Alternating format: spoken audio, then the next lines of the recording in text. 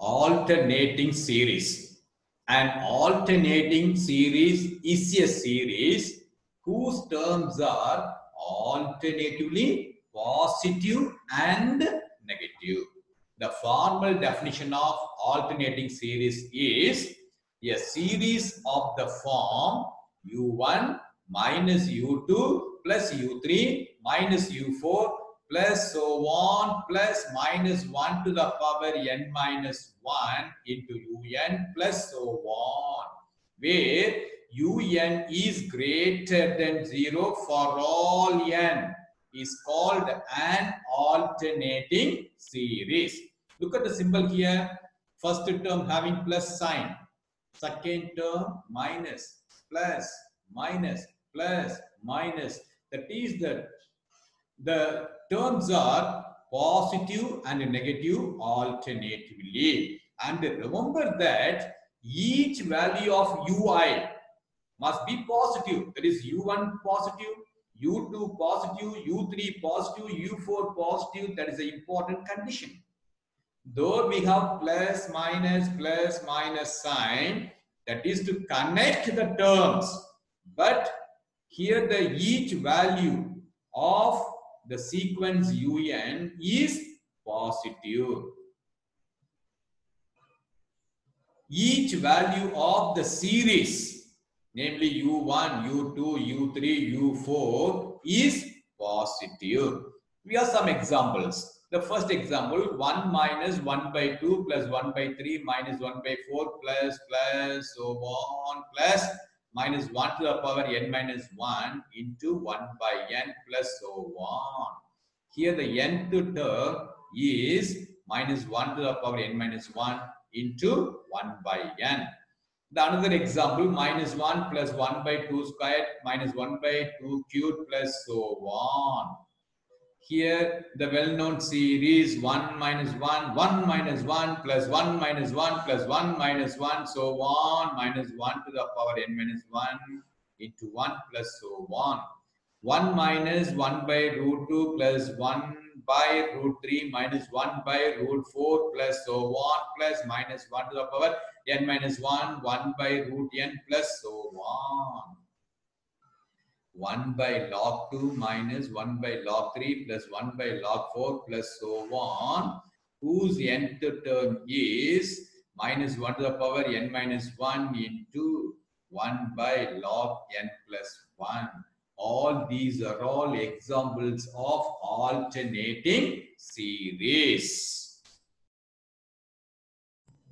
Gottfried Wilhelm Leibniz was a prominent German polymath and one of the most important logicians, mathematicians, and natural philosophers of the Enlightenment. English scientist Isaac Newton and German philosopher Leibniz independently invented calculus in the mid 17th century. Yes, Leibniz developed as his most prominent accomplishment the ideas of differential and integral calculus independently of Isaac Newton's contemporaneous developments. It was only in the 20th century that Leibniz's law of continuity and transcendental law of homogeneity found mathematical implementation by means of non-standard analysis. He became one of the most creative inventors in the field of mechanical calculators. While working on adding automatic multiplication and division to Pascal's calculator, he was the first to describe a pinwheel calculator in 1685 and invented the Leibniz wheel. He also refined the binary number system, which is the foundation of nearly all digital, electronic, solid state, discrete logic computers including the von Neumann machine, which is the standard design paradigm or computer architecture followed from the second half of the 20th century and into the 21st.